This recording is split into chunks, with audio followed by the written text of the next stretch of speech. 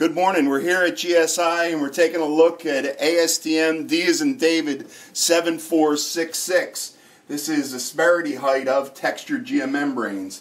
This particular uh, gauge is what we'll be using, a depth gauge. Uh, this gauge, the first item that you need to do, it has a stylus in the base of it. Uh, the first thing you need to do is zero the device. Uh, you set it down on a smooth surface and subsequently uh, zero the device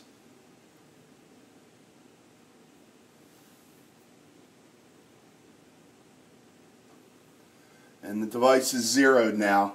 Uh, you then need to verify the device that it's uh, functioning properly, and you, we typically do that with a uh, washer of known dimension.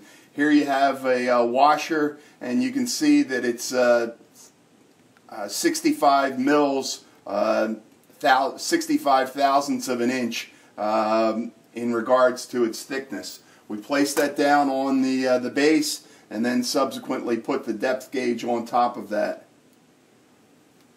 And it should work out to uh, 65 mil. And 65.2, the accuracy of this is a little bit more.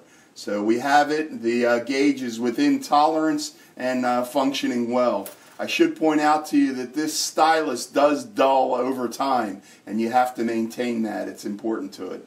We'll be testing two different geomembranes. The first is from a blown film line, this uh, membrane goes down on the rigid platen, and then we're looking at the uh, maximum of three readings. The first reading we have, we're finding the valley here, so 33.3. The second reading, 29.6, and then the third reading, 27 point or 26.6. So 33.3 is the uh, maximum reading for this particular sheet. We'll then go to a uh, cast sample, and here you see a uh, textured geomembrane from a cast line. We'll uh, take a look at three readings, again finding the valleys. Uh, 32.3. The next is 28.7 and the third is 30.8. So the maximum is 32.3 uh, for this particular sample.